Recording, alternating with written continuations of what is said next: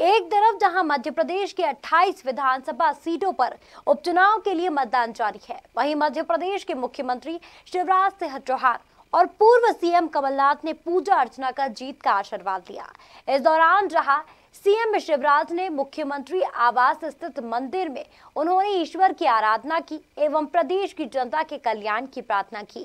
वहीं पूर्व मुख्यमंत्री कमलनाथ मंगलवार को प्रसिद्ध गुफा मंदिर पहुँचे, जहाँ उन्होंने भगवान हनुमान जी व भैरवनाथ मंदिर में दर्शन कर जीत का आशीर्वाद लिया। ब्यूरो रिपोर्ट, खबर मध्य प्रदेश, भोपाल।